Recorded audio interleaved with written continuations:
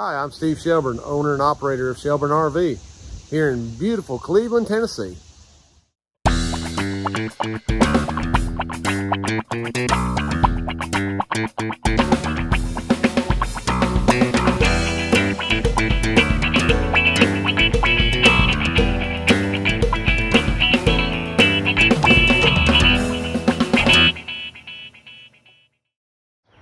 Well, good morning. Welcome back. Got a few things we're to take a look at this morning. Um, I got a big brand new Fleetwood Discovery up here for an Aqua Hot service. And I got this Mercedes uh, B-Class over here. I want to take you guys over and kind of show you what's going on with it because it came in and the, uh, uh, when he's driving down the road, the, the engine was not charging the battery and then when he was running the generator, the, the inverter converter was just doing some crazy crap. So let's go over here and look at this right quick. So we got the testing on this thing and that's the solenoid. This is, this is the engine battery. This is the house battery. And when they get to driving down the road, this 12 volts supplied to this actuates this relay and binds those two batteries together to supply enough power driving down the road. Now that solenoid is clicking, but nothing's happening, so it's bad. So we got in here and got the checking and this inverter converter, Mr. Cody's in here, got this thing tore apart. And you can see where they bury this thing underneath the seat, but there's the inverter converter and buried up underneath the seat of this thing. So we got the seat out. Well, this thing's a problem. So we're gonna change it out with that uh, standalone. Now, the reason we're kind of doing that is he just had a brand new generator put in this thing. And, you know, inverter converters are fine Nothing wrong with that. But there's one little battery in this thing. Now, typically you're gonna talk about three, four batteries. This thing's only got one battery. So by the time it does anything, that battery's dead. So we're doing away with that. He doesn't want that option anymore. He's got a brand new generator. He said, if I need power, I'll run my generator or I'll plug it in on the shore power. There's really no reason for me to do that because we never he never does any kind of uh, dry camping with that. So we're just going to do away with that and then uh, get him fixed up the other way. All right, so Brandon and uh, cousin Gary are in here working on this Aqua Hot. Now, you can see how buried up in here it is. Now, they did a very nice job in thinking about somebody who had to do some service on that. Actually gave us some room to work inside there. So Brandon and cousin Gary are over here now. You can see Brandon's over here checking the the uh, electrode distance, doing an adjustment on that. Of course, obviously going to change out the fuel nozzle on there. And then, of course, there's cousin Gary this morning, and he's doing a cleaning on this uh, on this swirler tube that's in here. And then, obviously, also going to change the uh, the fuel filter that's right there, get that done, and then we're gonna put it all put it all back together and retest. So we had a Montana fifth wheel that came in that had been down at a uh, big box store. We won't mention its name uh, for blowout damage. Now they did a they did a great job on the blowout part. They just didn't do the job completely. So let me show you what's going on here. Lewis has got everything ready to be pulled off here, but let me show you. If you can notice, the blowout damage actually damaged that whole bracket across there.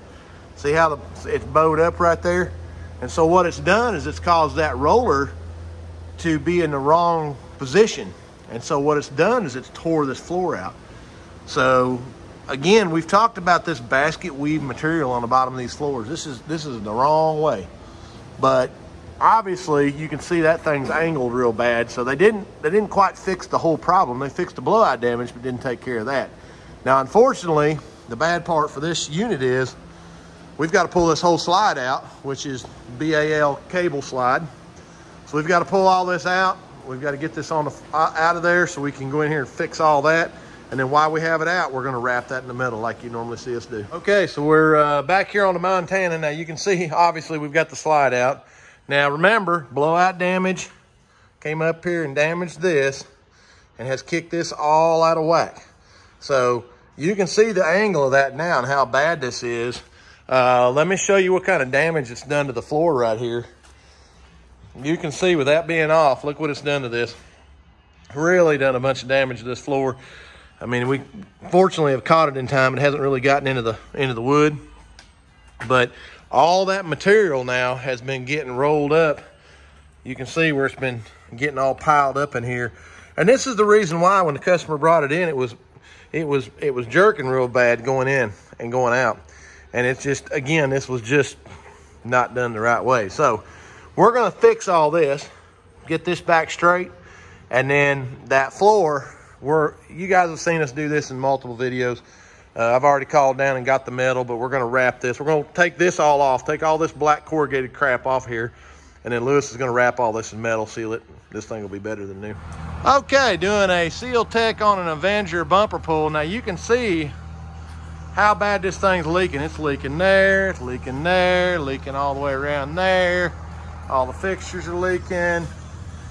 Yeah, wind is leaking. So he's got a list of stuff wrong with this, and it looks like it looks like it's leaking pretty bad here.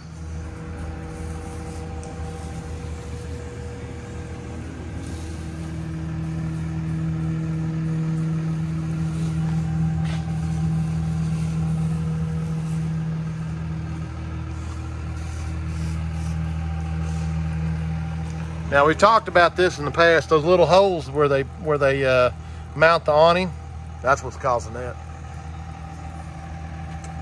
Compartment leaking right there. So yeah, this one's gonna have to have a bunch of work done on it. Okay, so we're back here on this Avenger this morning, and I wanted to kind of show you guys something. Now, the customer had stated that there was ceiling panel up in here that had had some water in here. And so we've got the Seal Tech machine running in here now. But look at that.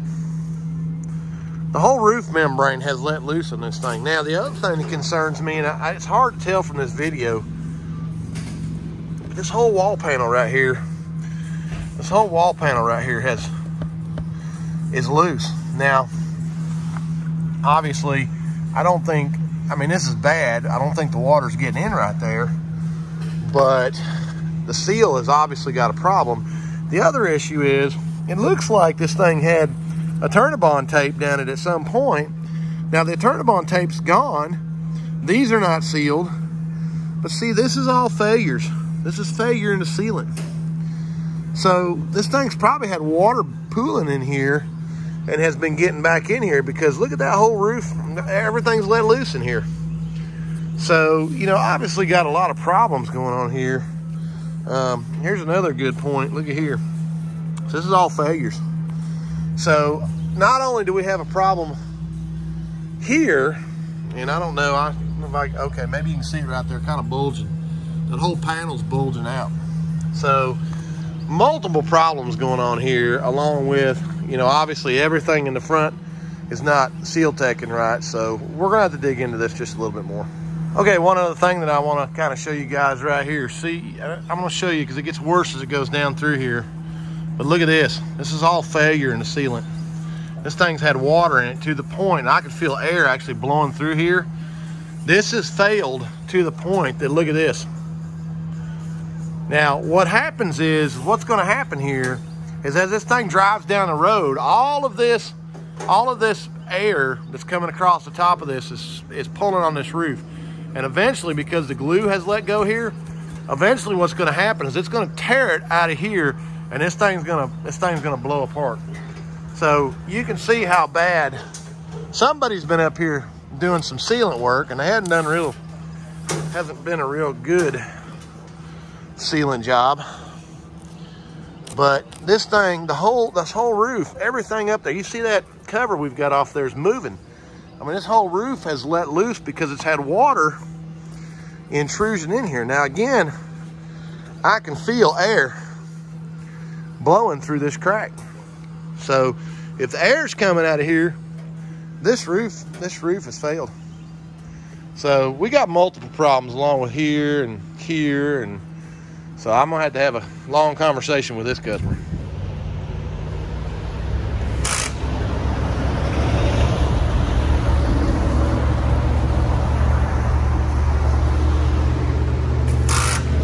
Well, Tori and I are back from Dayton. We got that we got that sign face. There was actually three of them. We got them put in there. So that's all done. So McCartney family practice out there in Dayton, Tennessee. There you go. Need to see a chiropractor. That's the place to go. So this Montana, while I was gone, uh, the boys actually got the floor all done and it's back in the camper. So Lewis is just working on trying to get the trying to get the trims and all cleaned up and then uh, just doing the fascia and got to get all that put back in. But that turned out good, putting that metal on the bottom of that. So anyways, I got that going. I got a couple other things I'm gonna take you around here and show you. Okay, so we had this little Outback came in. It had some roof problems. Let me take you up here and show you what's going on. So the bathroom vent was completely broke out of this thing. But he also wanted us to look at the roof and look at all that sealant. Look how failed that is. Um, air, the refrigerator vent's real bad. Let's take a look up here on the front. See how all that's failing real bad right through there? All that's failing. All that's failing. I mean, this thing's really in just a in a bad deal right here. All the sealant has just just started coming apart. Look at it down here. Now, this is one thing I hate about these roofs. This is a piece of metal that they've used to wrap this corner right here. And of course, this is plywood. Then they take this piece of metal and wrap that. Well, the issue is they put very few staples in this thing. When we staple these up here, when we do them, we staple probably every inch. I mean, I know I go over overboard on staples, but that don't happen when we do our roofs. The other thing is, look at this. That is the staple coming out. The metal is right here. The staple's way over here. You got to staple them on the edge like that and then tape all this. And if you do that, that's not going to work itself out. So that right there is a roof membrane failure that's in the works. So of course, TPO or uh, EPDM roofing, this is a this is a problem. So they've done that all the way down this side and all the way down that side, wrapped it with that metal. And that's a fine way to do it. But again, staples are going to start working themselves loose. Look here, there's another one. See, that staple's starting to push through. And eventually, eventually this roof's going to fail. Now, there's another one. I mean, it's just, you know, it's just a bad deal because there's a staple there. We've got one right there, but that's about 10 inches apart. And again, it's not on the seam. So, you know, this is stuff that we see that is problematic. Now the back don't look, it, it doesn't look as bad, but it definitely has got some failure in here. And somebody, somebody tried, but you know, just didn't do a very good job at sealing this up. And it's just, it's just poor at best. So Gonna have to have a conversation with this customer and get him a call and kind of show him what's going on. But I want to show you guys some of this up here. Well, good morning. Welcome back. It's Friday. Getting towards the end of the week here. We've had some things going on and you guys saw me out there working on that sign for uh, McCartney family. So we got that all done. Uh, had this horse trailer come in. Uh, they put a uh, awning fabric on that. And then uh, we've got a latch on the arm that's got a problem. So we're gonna wait on those to show up. Those old 8500 um, Dometic parts are just getting tough to find anymore. It's, I had to do a little modification to make the make the latch work, but we're gonna get it. Should have some parts here later today. Um, so we'll be working on that. We've got a uh, we've got a mallard that came in, and customer was complaining that the slide wasn't running in and out correctly. Now when we got up there and got the look and he hasn't been cleaning the leaves off the top of the slide. So it was like packed with leaves and pine needles and all kinds of stuff and was, you know, getting jammed up inside the inside the slide when it was going in there. So so that was kind of, you know, gonna have to have a conversation with him about that. And obviously, maybe look at putting a slide out topper on there because he doesn't have a slide out topper on there. So that's the way it goes. Just, you know, sometimes you gotta talk about those campers and try to educate the customers as, as much as we can. Now, this uh, this Avenger right there that you guys saw us talking about on that one um, with the roof and all that. So, you know, my the customer was asking me, you know, which which camper's better, metal sided camper or Filon sided camper? You know,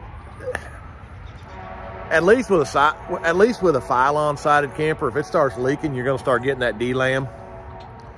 You know, metal camper just hides so much, so much stuff behind that metal. You know, the wood, the wood structure, and you know, is all hidden behind there. So if you've got a leak, you don't even know it. And that thing, that thing's that thing's obviously got problems. So they're going to be looking at doing something else. They told us just to stop where we're at on that, and and they're going to talk about doing something different, maybe maybe trading or something. So she was going to let me know on Monday. But anyways, that's the way it goes. Um, got quite a bit coming in next week. I've got a big Prevost bus coming in next week for basement air repair.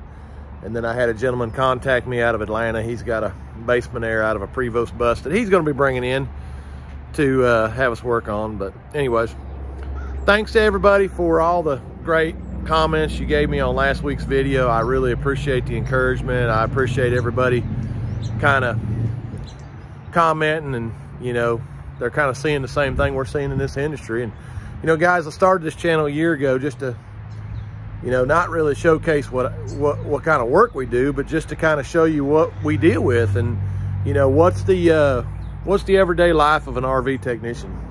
And this is what I want to show you guys. And, you know, I kind of got doing this. I've been watching a guy on uh, YouTube called The Millennial Farmer. You guys can go on there and check his channel out. Congratulations to, to Zach at The Millennial Farmer, by the way. Uh, just reached a million subscribers. Uh, he's been doing this since 2016. So I'd been watching him kind of seeing the showcase of what he does and, and it kind of was, you know, was interesting to me about farm life. And so I wanted to kind of start doing the same thing here at Shelburne RV and kind of showing you guys what we deal with in the RV industry, what we, what we do every day. Thanks for everybody who subscribed. You've, you've been with us now a year and you've kind of seen, you know, the, the, troubles that we deal with with some of these RVs and you know what the industry actually is. And I appreciate everybody everybody watching. But uh, you know, shout out to Mr. Zach Johnson at uh, the Millennial Farmer. Congratulations on your million, million million subscribers. Who knows where we'll be in that amount of time? Maybe we'll have a million subscribers one day. I don't know. You know, I, I didn't do it for the subscribers. I just did it to kind of show what we do every day. And you guys are getting to see it firsthand. So there you go. Um, the other thing we got going on in here is we got this Outback that's got a roof reseal, the fixtures and all, and it's got a skylight. We talked about that yesterday on that other video we did about showing the sealant and some of the stuff that was failing. So uh, the Montana with the floor, Lewis is pretty much getting this one finished up, so I'll show you that as we get it kind of done, but he's just working on getting the cable slide and some of the fascia done. But uh, we'll show you that here in just a couple minutes. Well, I got to go down here to the front office. I just got told that I got a delivery from one of the big trucking companies. We, uh, this old uh, Airstream that you guys have seen us working on here, doing that bathroom restoration. Um, about a month ago, we ordered a, uh, a, a shower surround and a, and a bathtub for that, or shower tub for that. And, and it, and it showed up. And of course, it looked like the guys on the dock used it as a ramming rod, so they just destroyed the daggum thing. So I had to refuse it and send it back, which now has put me way behind on doing this, uh, doing this uh, restoration on this tub. So they're telling me that the new one has just showed up, so I'm gonna go down here. I'm crossing my fingers. I'm gonna hope that uh, they haven't destroyed this one, but I'm gonna go down here now and see what's going on and we'll check this out. Well, I jinxed myself. The box came out of the truck and looked phenomenal. And then we got got in there and got the uh, got it opened up. One of the corners was damaged on it. So there's another, there's three weeks down waiting on a shower surround. So yeah, I guess I should have kept my mouth shut and just, just opened it up. Maybe, maybe we, maybe we'd have been good. I don't know. It's just, you know, so disappointing. This is what we deal with and trying to get this in. And I need that job. I literally need that work right now. And you know, this guy wants his old Airstream back, and then here we are, you know, second one. So, and of course, the shower pan was in the box with the shower surround, and they won't let me have the shower pan. If I had the shower pan, I could at least get the shower pan in, get it all plumbed, have it ready for the surround whenever the surround can get here without being damaged, but they won't let me have the pan because it's all as one package. So, you know, I, this is what we're dealing with. So anyways, there you go. Another, another one thanks to the trucking company.